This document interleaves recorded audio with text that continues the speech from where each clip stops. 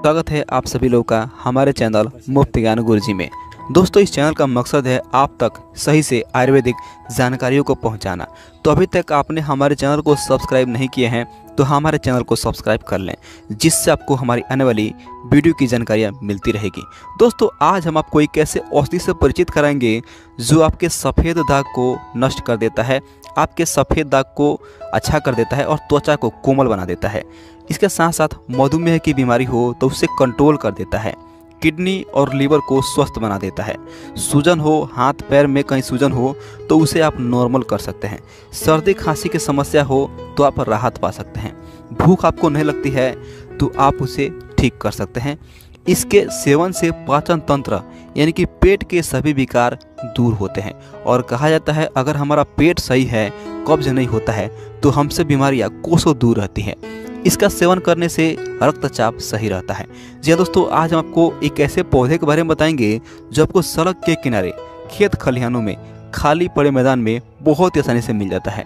और यह घास पहले भी उतना कारगर था जितना कि आज है। जी हाँ आज हम बात कर रहे हैं रसभरी के बारे में। जी हाँ अक्सर आपने इसे देखा होगा, सड़क के किनारे खेत खलिहानों में।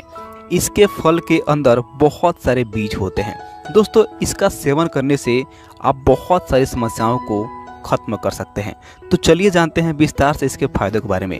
और दोस्तों, वीडियो पसंद आए तो वीडियो को लाइक करें और इस वीडियो को पूरा ज़रूर देखें।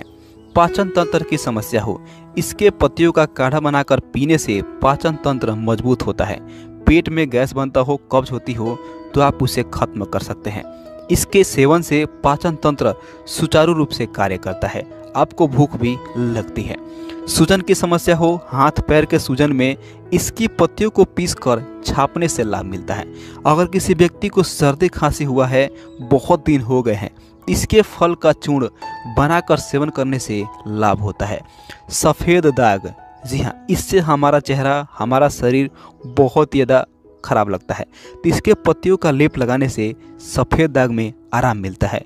मधुमेह, रसभरी के पंचांग, यानी कि फल, फूल, जड़, ताना का काढ़ा बनाकर पीने से डायबिटीज़ में आराम मिलता है। किडनी और लीवर की समस्या, जी हाँ इसके फलों का सेवन करने से किडनी और लीवर स्वस्थ रहते हैं। आप चाहें तो आप इसके पत्तियों का काढ़ा बनाकर कभी पी सकते हैं। इससे रक्तचाप सही रहता है, किडनी और लीवर की बीमारी भी नहीं होती है। लेकिन गर्भवती व स्तनपान कराने वाली महिलाओं का इसका सेवन नहीं कराना चाहिए। तो दोस्तों, कैसी लगी आज यह जानकारी हमें कमेंट करके ज़रूर बताएँ। इस वीडियो को लाइक करें, हमारे चैनल को सब्सक्राइब करें। हम आपसे जल्दी जुड़ते हैं किसी और नई जानकारी के साथ। तब तक के लिए आप सभी का बहुत बहुत धन्यवाद। नमस्कार दोस्तों।